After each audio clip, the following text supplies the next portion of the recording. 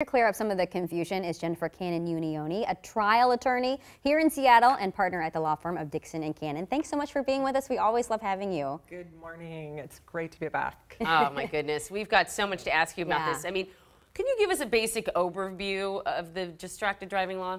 Yes, yes. So bottom line, you cannot hold that cell phone in your hand anymore while you are driving.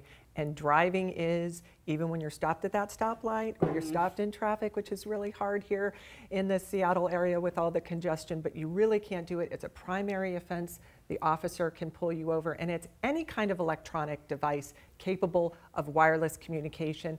And if you have it on that dashboard, you can activate it really quickly, but that's really all you can do. You can't surf the internet, you can't check something. You need to find where you're going.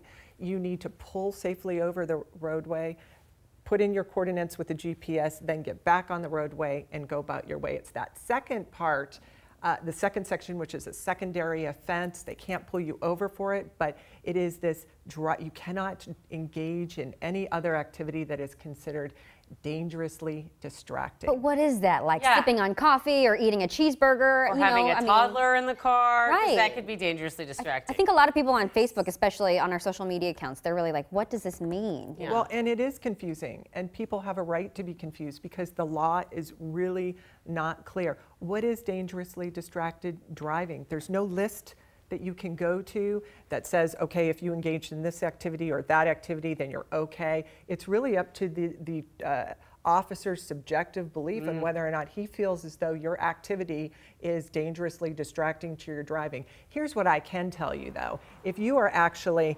driving on the roadway, you've got your eyes uh, straight ahead and you're taking that sip of coffee or you're, you're taking a bite out of that donut or you're, you know, it's the summertime, you're having some fruit or something, but your eyes are on the roadway and there's nothing wrong with your driving, you're perfectly You're fine, so don't worry about it. Perfectly fine. But if you are caught on the phone and they pull you over, they could say, are you eating Rainier cherries right now? What are you doing? good example. So, so yeah, if, if you're, if whatever the activity you're engaged in is distracting your driving and you're weaving or you're doing something else, you're following too closely or you get mm-hmm. into a, a collision, then the officer can pull you over for the independent reason, which is the primary offense, Right. and then add on this secondary offense, which is $99.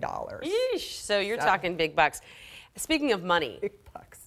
How does this affect insurance rates? Will they go up? So this is what most people are really mm-hmm. not talking about. The insurance industry lobbied for this, and it's a big win for them. We mm-hmm. talk $136 for the primary offense and 99 for the add-on, but you are probably looking at an increase in your insurance rates because it is a it is now a moving violation. It goes on your record, and it depends on your policy and your coverage on whether or not they're going to. But I'll bet they will. Does oh it, dear. What does it go under? Is it like a DUI E or something? Or I mean, do you know? Because when you see, because I when I read about it, I see like DUI. mm -hmm. You know, so it always makes me like, what? What does It- that it- mean? You know? it- look, the acronyms look very similar, yeah. And so, but it is just an infraction. Okay. It is considered a moving violation, Okay. and it then could increase your insurance rates, just like a speeding ticket.